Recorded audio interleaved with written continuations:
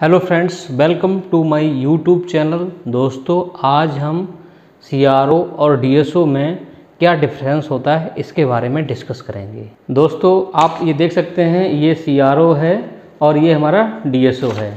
दोस्तों CRO एक analogue ऑस्लोस्कोप होता है जो डेटा को स्टोर नहीं कर सकता है। और DSO एक डिजिटल ऑस्लोस्कोप होता है जो डेटा को स्टोर कर सकता है और एनालाइज कर सकता है। सीआरओ का फुल फॉर्म होता है कैथोड रे ऑस्लोस्कोप। तो दोस्तों, ये देख सकते हैं, ये कैथोड रे ऑस्लोस्कोप है और डीएसओ का फुल फॉर्म होता है डिजिटल स्टोरेज ऑस्लोस्कोप। कैथोड रे ऑस्लोस्कोप का नॉर्मली इसमें जो ट्रिगरिंग होती है, वो नॉर्मल ट्रिगरिंग होती है और डीएसओ में जो ट्रिगरिंग होती है, वो एडवांस ट्रिगरिंग होती है।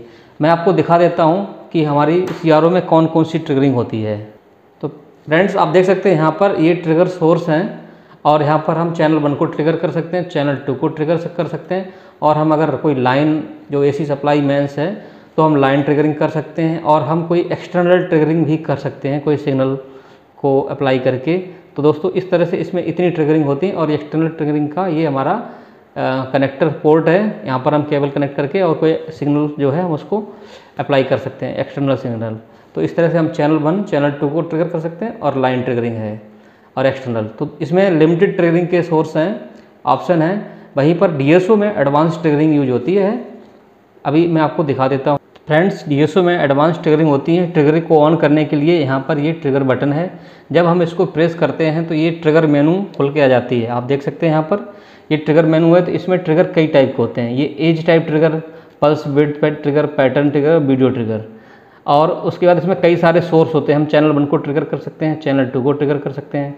और कोई अगर एक्सटर्नल सोर्स है तो उसके लिए भी हम उसको भी ट्रिगर कर सकते हैं और लाइन ट्रिगर तो ये चार तो ऑप्शन हमारे सीआरओ में भी होते हैं channel one channel two external और लाइन लेकिन इसमें वेबजेन और वेबजेन मॉडुलेशन जिसमें हम एफ़ और एफएम ये दो एक्स्ट्रा फीचर होते हैं और इसमें ट्रिगर टाइप भी कई टाइप के होते हैं। नॉर्मल ट्रिगरिंग होती है और इसमें हमारा एज एज को ट्रिगर कर सकते हैं पल्स की बिट को ट्रिगर कर सकते हैं और पैटर्न को भी ट्रिगर कर सकते हैं।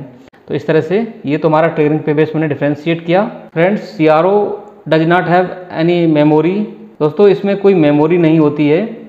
इसमें हम डेटा को स्टोर नहीं कर सकते हैं CRO में और वहीं पर DSO में हम DSO में हम डेटा इसमें मेमोरी होती है। O D D S O has memory आप देख सकते हैं, इसमें मेमोरी होती है, इसमें अंदर इनबिल्ट होती है तो हम इसमें डेटा को स्टोर कर सकते हैं और इसीलिए हम इसको एनालाइज कर सकते हैं। फ्रेंड्स सीआरओ में किसी भी तरह का कोई यूएसबी पोर्ट नहीं होता है, क्योंकि इसमें मेमोरी नहीं होती है और ये एनालॉग होता है तो इसलिए इसमें कोई यू पोर्ट नहीं होता है। और वहीं पर दोस्तों डी में हमारा, आप यहाँ पर देख सकते हैं, ये यू पोर्ट है और यहाँ पर इसका सिंबल भी बना है। तो यहाँ पर आप मेमोरी को किसी भी पेन ड्राइव को कनेक्ट कर सकते हैं। और उसके बाद हम जो भी स्क्रीन पर डेटा डिस्प्ले हो रहा है, उसको हम सेव कर सकते हैं। तो ये एक डीएसओ का बहुत ही एडवांस फीचर है और इसका काफ़ी बेनिफिट है।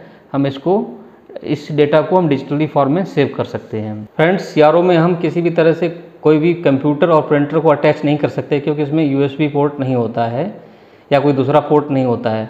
वहीं पर हम डी में कंप्यूटर और प्रिंटर को अटैच कर सकते हैं यूजिंग यूएसबी पोर्ट आप देख सकते हैं यहाँ पर। ये हमारा प्रिंटर का लिए यहाँ पर कुछ एक यूएसबी डिवाइस है और दूसरा ये हमारा प्रिंटर के लिए कनेक्टर दिया गया है।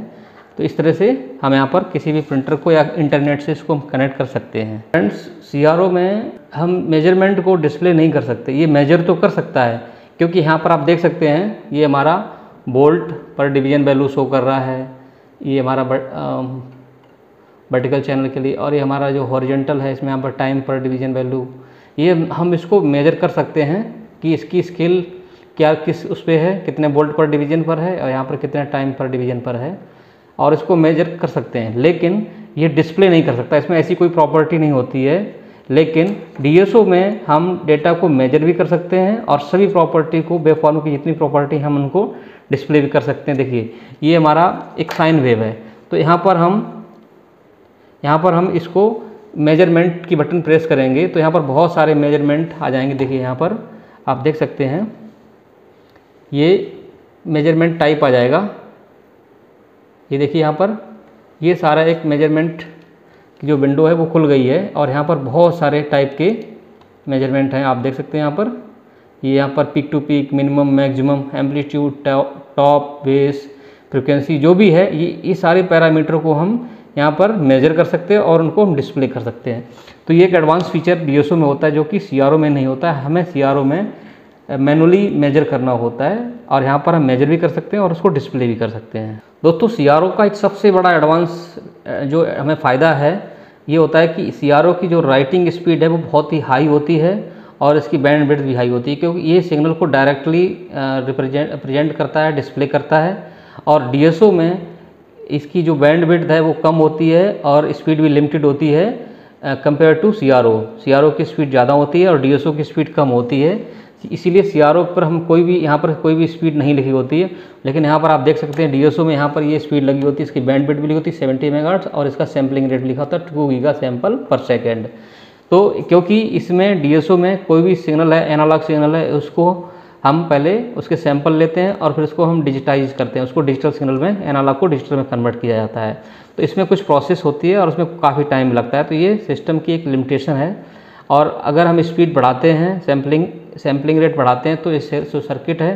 काफ़ी एडवांस सर्किट का यूज़ किया जाता है और वो काफ़ी कॉस्टली होता है। तो इससे डी की स्पीड बढ़ जाती, कीमत बढ़ जाती है। सेवेंटी मेगा आर्ट्स से अगर हम हंड्रेड मेगा आर्ट्स का डी परचेज करेंगे तो थोड़ा महँगा मिलेगा। और इसी तरह से अगर हम टू मेगा आर्ट्स का जाएँगे, टू हंड्रेड मेगा आर्ट्स तो वो और भी कॉस्टली पड़ेगा। तो सी के कंपेरिजन में इसकी स्पीड जो है कम होती है और बैंडविड्थ भी कुछ लिमिटेड होती है। तो ये भी एक काफ़ी इंपॉर्टेंट डिफरेंस है। दोस्तों, कैथोड रे ट्यूब में एक ट्यूब होती है, जिसे हम CRT या कैथोड रे ट्यूब कहते हैं। और इसको हमें कुछ टाइम के बाद रिप्लेस भी करना पड़ जाता है। कभी कभी ये जो स्क्रीन है, ये कुछ फ्लोरोसेंस में मटेरियल होते हैं उनसे बनी होती है अलग अलग कलर के लिए ग्रीन ब्लू इस टाइप से।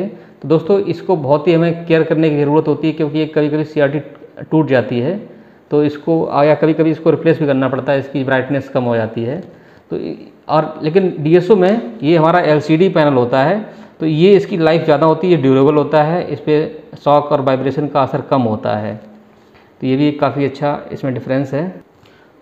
दोस्तों सीआरओ जो है एक्यूरेट और स्टेबल भी कम होता है DSO की तुलना में, क्योंकि इसमें जो टाइम बेस सिग्नल है, वो रैंप सर्किट द्वारा जनरेट किया जाता है।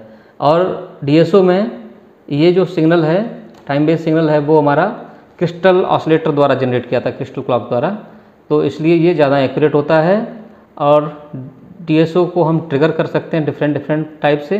CRO में नहीं कर सकते हैं और इसमें कोई भी स्टोरेज सिस्टम नहीं होता है। तो दोस्तों ये कई सारे डिफरेंस इसके अलावा भी कई सारे डिफरेंस होते हैं। दोस्तों सी कुछ सस्ता होता है और DSO कॉस्टली होता है। DSO में पावर कंजप्शन CRO की तुलना में कम होता है और DSO साइज़ में भी छोटा होता है और इसकी काफ़ी बड़ी स्क्रीन है, आप देख सकते हैं। और सी में ये स्क्रीन छोटी होती है।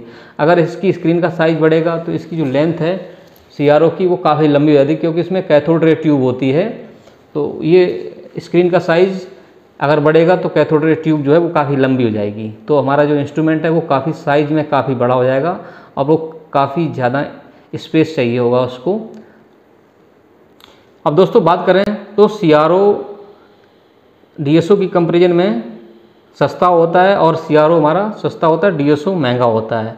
इसके लिए बहुत सारी कंपनियाँ हैं मार्केट में और डी एस ओ हमारा फोर चैनल में भी आता है और सी हमारा डुअल चैनल ही आता है।